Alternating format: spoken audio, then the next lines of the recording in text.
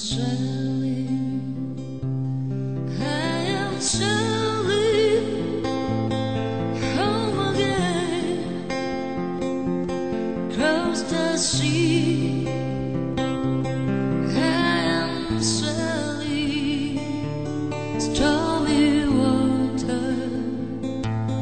to you, to be free.